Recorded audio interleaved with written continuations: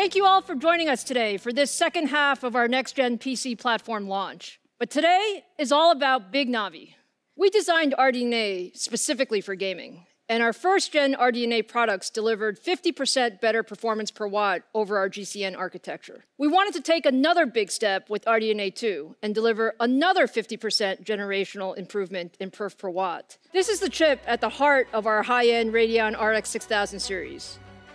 26.8 billion transistors built with leading edge 7 nanometer process technology. Big Navi is our first product powered by RDNA 2. We had some very ambitious goals with RDNA 2 significantly higher performance, 50% improvement in performance per watt, and new hardware features. We deployed pervasive fine grained clock gating, reimagined the pipeline to aggressively maximize performance while minimizing data movement. In combination, these elements made the compute units 30% more energy efficient, allowing them to be pushed faster. Gaming at 4K requires more data to be brought into the chip. The amount of data more than doubles as we move from 1440p to 4K. We took a new approach to solving this technical challenge for gaming and deployed a graphics optimized, high density, high speed cache based on the Zen L3 cache. We call this the Infinity Cache. With RDNA 2, our silicon design and architectural improvements, we are able to deliver 30% faster frequencies in the same 7 nanometer process node. Pulling all this together, the RDNA 2 architecture beats our aggressive performance per watt goal, achieving 54%.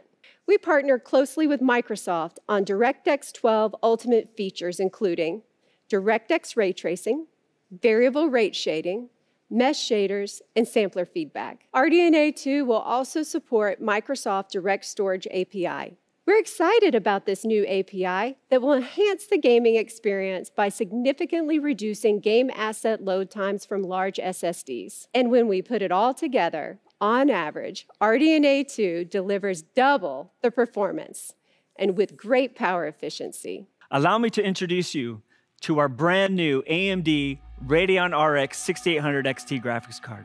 It comes with 72 compute units and runs with a game clock of over 2 gigahertz. This card features a 2.25 gigahertz boost clock that pushes some of the highest frequencies we've ever achieved. The 6800 XT will also feature 128 megabytes of Infinity Cache that is power efficient while driving the bandwidth needed for high resolution gaming paired with 16 gigabytes of blazing fast GDDR6 memory. And we've delivered all of this incredible performance with a total board power of just 300 watts. We've been maxing out all the settings in games like Battlefield 5, Borderlands 3, and Call of Duty Modern Warfare, and the performance has just been awesome to experience. Here, we compare their best API scores to our best API scores, the best versus the best. And as you can see, the 6800 XT trades blows and has some significant wins across a variety of titles. Here are the same games we showed you before, running the same best versus best API scenario at 1440p resolution. I personally love seeing so many games running at over 100 frames per second with all of the settings maxed out. We even have more performance we are delivering with two very cool features. The first is a one click overclocking button we've built into our Radeon software package that we call Rage Mode. Now, Rage Mode automatically takes advantage of the overclocking headroom built into your GPU to give you every bit of performance it has to offer. AMD Smart Access Memory unlocks the greater amount of high speed memory from the AMD Radeon RX 6000 series graphics cards to the AMD Ryzen 5000 series processors, and it delivers additional levels of performance in games. Simply pair these components with our 500 series chipset motherboards, enable the setting in the BIOS, and the performance uplift becomes automatic. When you combine AMD Smart Access Memory with the one-click overclocking of Rage Mode, you'll get a boost in performance in many of the games you love. Combining the latest implementation of Radeon Anti-Lag with the FreeSync monitor can reduce lag in your DX9 and in your DX11 games. In Fortnite, for example, gamers can realize up to 8 milliseconds of latency reduction by simply enabling this feature in Radeon software. With full hardware support for DX12 Ultimate, the Radeon RX 6000 series is ready to enable ray tracing and variable rate shading in upcoming titles. For DX12 Ultimate, we've added an optimized denoiser for ray tracing effects and a variable rate shading algorithm that can adapt image quality based upon luminance and motion. We're always looking to help developers with new initiatives and are already working on a super resolution feature to give gamers an option for more performance when using ray tracing. Let's take a look at some of these new features in an upcoming game with never before seen footage from Counterplay Studios and their fantastic game, Godfall. Godfall is a brand new third person perspective, next generation looter slasher that challenges gamers to engage in high impact melee combat as they hunt for loot, equip legendary armor, and defeat vicious enemies.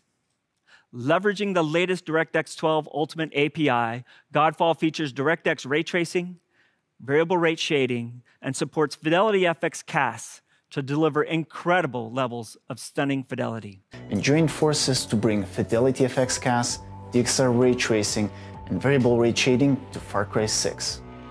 We're using VRS Tier 2 to use a compute shader to generate a control texture which analyzes the luminance and gives us control at an 8x8 tile level as to what shader rate we're going to be using. Another great feature on the RX 6000 is DXR ray tracing. Here you can see ray tracing evident and how the shadows are interacting with your character. What you're seeing involves incredibly complex computations on the RX 6000. This is a level of realism that hasn't been possible until recently. Real-time ray-traced shadows allow us to introduce additional shadow casting lights into the scene that provide much more uh, immersion and detail into the world. I'm happy to announce that the Radeon RX 6800 XT will be available on November 18th, starting at $649. But we are not done yet. Today, we are also announcing the Radeon RX 6800 with 60 compute units, a 1.815 gigahertz game clock, with a boost clock of over 2.1 gigahertz.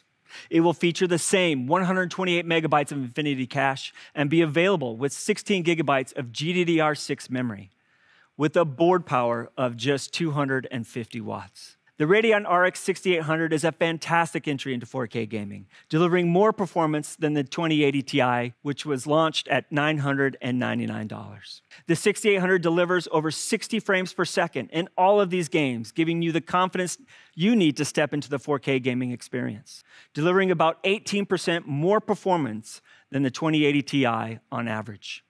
The Radeon RX 6800 will be available to gamers starting at a price of $579 on November 18th. But you know, we always save the best for last, and I always get the most fun jobs. So today, that means I have one more GPU to show you. I'm so excited to share with you for the very first time the AMD Radeon RX 6900 XT.